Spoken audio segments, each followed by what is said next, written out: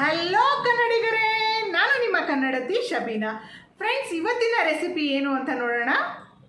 ಇವತ್ತು ನಾವು most requested video garam masala ಮನೆಯಲ್ಲಿ ಹೇಗೆ ಮಾಡೋದು ಅಂತ ನೋಡ್ಕೊಳ್ಳೋಣ. ಸೊ ಯಾವ್ಯಾವ ಗರಂ ಮಸಾಲ ಎಷ್ಟು ತಗೋಬೇಕು, ಹಾಗೆ ಎಷ್ಟು ಪ್ರಮಾಣದಲ್ಲಿ ಹುರಿಬೇಕು, ಯಾವ ಮಸಾಲೆಗಳನ್ನು ಯಾವ ಮಸಾಲೆ ಜೊತೆ ಹುರಿಬೇಕು ಹೊರಗಡೆ ನಾವು ಮಾರ್ಕೆಟಲ್ಲಿ ಸಿಗುವಂಥ ಗರಂ ಮಸಾಲಕ್ಕೂ, ಮನೆಯಲ್ಲಿ ಮಾಡುವಂಥ ಗರಂ ಮಸಾಲಕ್ಕೂ ವ್ಯತ್ಯಾಸ ಏನು? ಹಾಗೆ ನಿಮ್ಮ ಮನೆಯಲ್ಲಿ ಈ ಗರಂ ಮಸಾಲ ಇದ್ದರೆ ನಿಮ್ಮ ಅಡಿಗೆ ಟೇಸ್ಟ್ ಡಬಲ್ ಆಗೋದ್ರಲ್ಲಿ ಯಾವುದೇ ಸಂಶಯ ಇಲ್ಲ.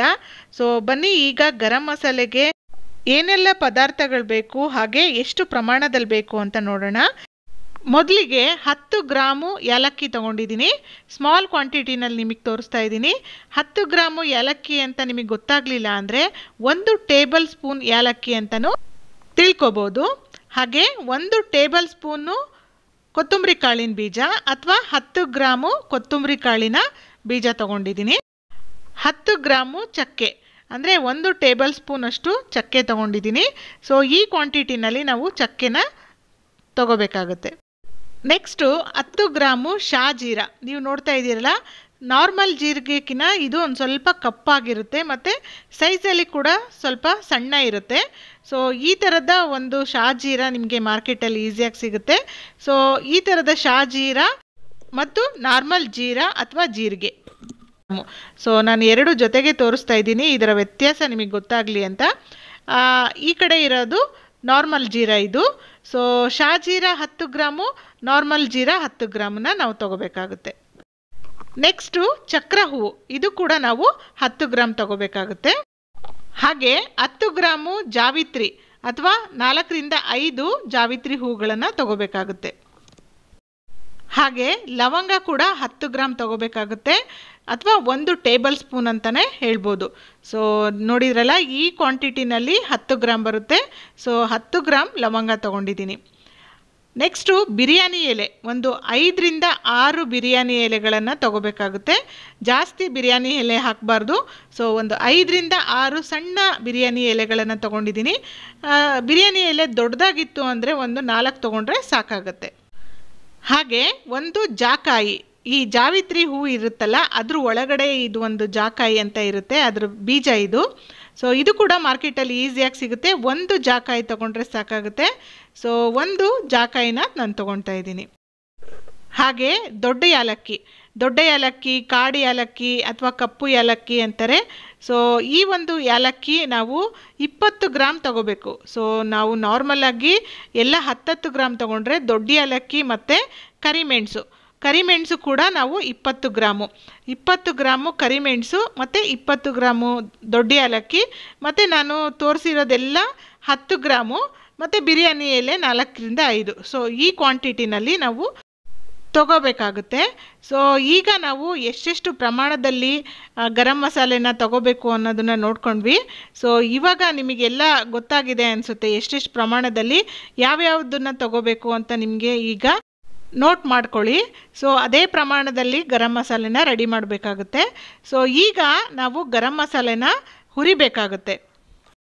ಅದಕ್ಕಿಂತ ಮುಂಚೆ ಈ ಥರ ಒಂದು ಕುಟ್ಟೋದನ್ನು ತಗೊಂಡು ಜಾಕಾಯಿ ಇರುತ್ತಲ್ಲ, ಅದನ್ನು ಸ್ವಲ್ಪ ನಾವು ಪುಡಿ ಮಾಡ್ಕೋಬೇಕಾಗುತ್ತೆ. ಜಾಸ್ತಿ ಏನಿಲ್ಲ, ಒಂದು ನಾಲ್ಕೈದು ಪೀಸ್ ಆಗೋ ತನಕ ಈ ಥರ ಪುಡಿ ಮಾಡ್ಕೋಬೇಕಾಗುತ್ತೆ. ಈಸಿಯಾಗಿ ಕಟ್ಟಾಗುತ್ತೆ. ಸೊ, ನಾವು ಹುರಿಬೇಕಲ್ವಾ?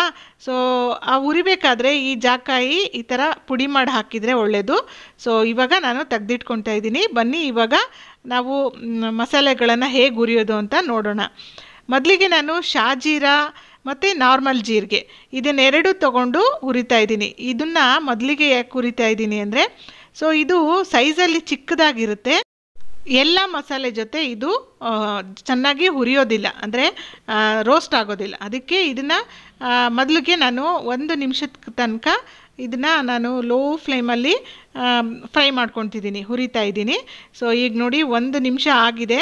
ಈ ಒಂದು ಜೀರಿಗೆನ ನಾನು ತೆಗೆದು ಒಂದು ಪ್ಲೇಟಲ್ಲಿ ಹಾಕ್ಕೊತಾ ಇದ್ದೀನಿ.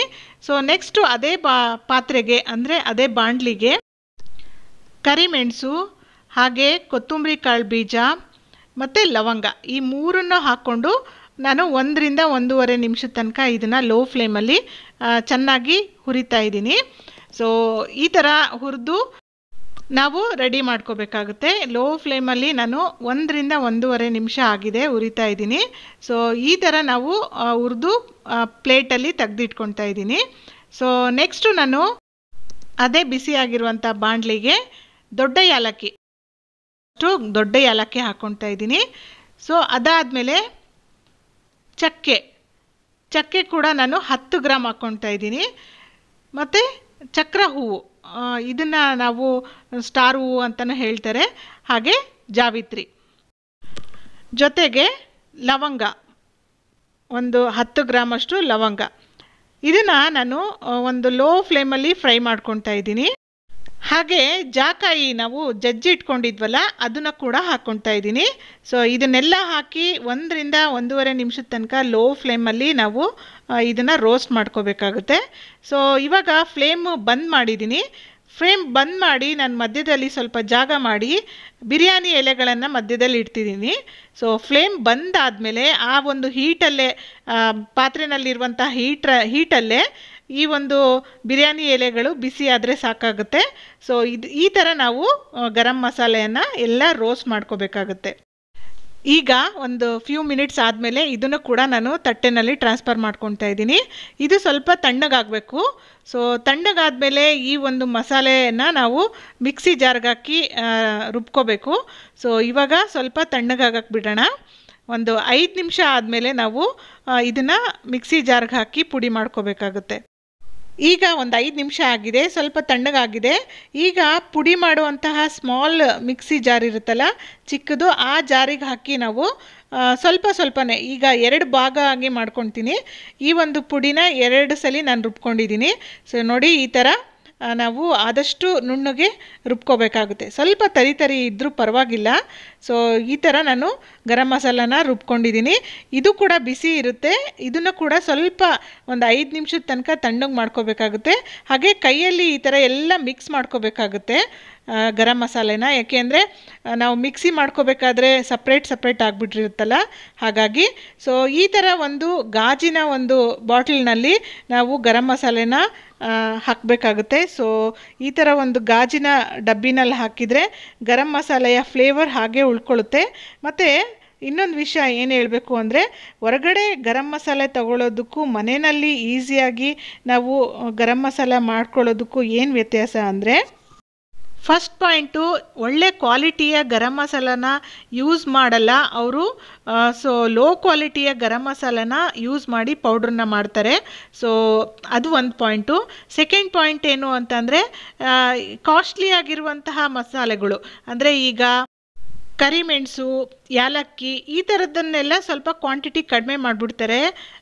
ಬೇರೆ ಸ್ವಲ್ಪ ರೇಟ್ ಕಡಿಮೆ ಇರೋವಂಥದ್ದನ್ನು ಜಾಸ್ತಿ ಮಾಡಿ ಗರಂ ಮಸಾಲೆನ ಪುಡಿ ಮಾಡಿ ನಮಗೆ ಮಾರ್ಕೆಟಲ್ಲಿ ಸೇಲ್ ಮಾಡ್ತಾರೆ. ಸೊ ಹಾಗಾಗಿ ನಾವು ಮನೆಯಲ್ಲೇ ಒಳ್ಳೆಯ ಕ್ವಾಲಿಟಿ ಗರಂ ಮಸಾಲೆಗಳನ್ನು ತಂದು ನಾವು ಪೌಡ್ರ್ ಮಾಡಿ ಗರಂ ಮಸಾಲೆ ಪುಡಿನ ಮಾಡ್ಕೊಳ್ಳೋದ್ರಿಂದ ನಮ್ಮ ಅಡುಗೆಯ ರುಚಿ ಕೂಡ ಹೆಚ್ಚುತ್ತೆ. ನಾನ್ ವೆಜ್ಗಂತೂ ಈ ಥರದ ಗರಂ ಮಸಾಲೆ ತುಂಬಾ ಟೇಸ್ಟ್ ಹೆಚ್ಚುತ್ತೆ ಅಂತ ಹೇಳ್ಬೋದು. ಸೊ ನೋಡಿದ್ರಲ್ಲ ಫ್ರೆಂಡ್ಸ್ ಈ ಥರ ಒಂದು ಗರಂ ಮಸಾಲೆನ ಮನೆಯಲ್ಲಿ ಹೇಗೆ ಮಾಡ್ಕೊಳ್ಳೋದು ಅಂತ ನಾನು ನಿಮಗೆ ತೋರಿಸಿದ್ದೀನಿ ಹಾಗೆ ನಿಮಗೆ ಏನಾದರೂ ಡೌಟ್ ಇದ್ದರೆ ಕಮೆಂಟ್ ಮುಖಾಂತರ ನನಗೆ ಕೇಳ್ಬೋದು. ಸೊ ಕಮೆಂಟ್ ಬಾಕ್ಸಲ್ಲಿ ನಿಮ್ಮ ಪ್ರಶ್ನೆಗಳು ಏನಿದ್ರೂ ಕೇಳಿ. ಸೊ ಐ ಹೋಪ್ ನಿಮಗೆ ಈ ವಿಡಿಯೋ ಇಷ್ಟ ಆಗಿದೆ ಅಂದ್ಕೊಳ್ತೀನಿ ಇಷ್ಟ ಆಗಿದ್ರೆ ಒಂದು ಲೈಕ್ ಮಾಡಿ, ನಿಮ್ಮ ಫ್ರೆಂಡ್ಸ್ ಆ್ಯಂಡ್ ಫ್ಯಾಮಿಲಿಗೆ ಶೇರ್ ಮಾಡಿ. ನಾನು ಈ ಥರದ ಒಂದು ರೆಸಿಪಿ ವ್ಲಾಗಿಂಗ್ ಇಂಟ್ರೆಸ್ಟಿಂಗ್ ವಿಡಿಯೋದೊಂದಿಗೆ ಮತ್ತೆ ನಿಮಗೆ ಭೇಟಿ ಆಗ್ತೀನಿ so thank you for watching ಧನ್ಯವಾದಗಳು.